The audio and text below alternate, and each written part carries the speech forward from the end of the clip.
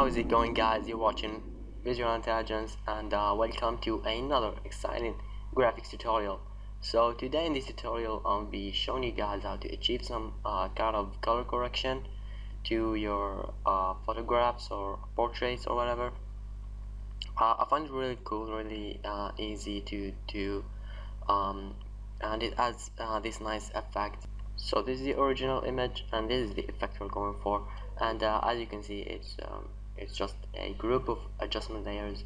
So you can go ahead and uh, copy that and paste it in other uh, PSDs or save this document as a PSD and then change the uh, image to whatever uh, image you want. You can even uh, add your um, you can even add your uh, Cinema 4D files and uh, yeah that, that look also great as you can see. I mean is the original image and this is the color corrected. So let's go ahead and uh, let me show you guys how, how to do that. So let's go ahead. Control A to copy this image. Control N to create a new document. Control V to paste it. And I'll just use that as an image to show you guys how to do this effect. Let's delete the background since we don't need it anymore.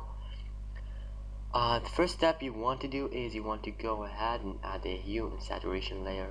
You want to change the saturation a bit to minus 40 something like that. This will uh, decrease the uh, color intensity as you guys can see. So next step is to create a new fill or adjustment layer uh, add a gradient uh, layer. Let's change the color to something like uh, from maybe uh, orangish to um, red color and make sure that the second color has an opacity of 0% this way you get like uh, a color to transparent gradient sort so yeah. Let's change let's keep the style to linear. Uh, I think it works best. Uh, change the angle to about minus, uh, 45 minus, I don't know. Just do whatever uh, you find uh, cool.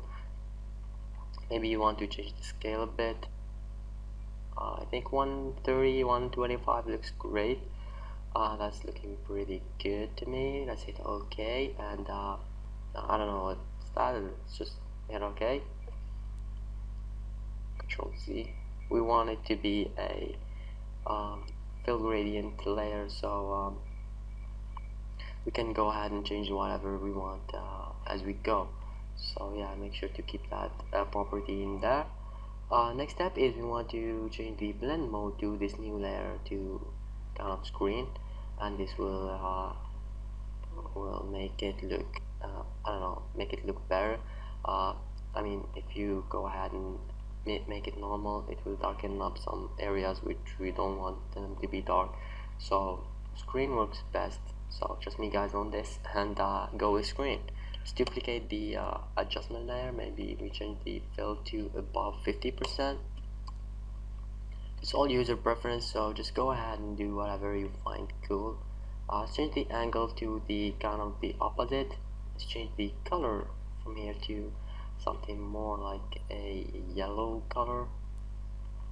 And this will make it look great.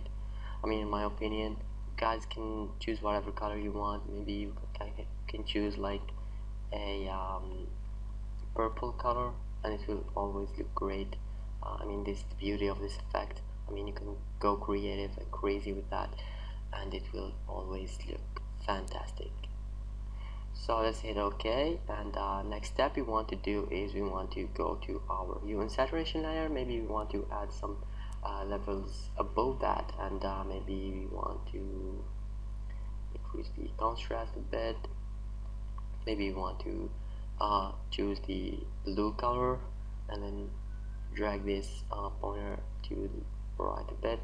And this will make it look I don't know kind of uh,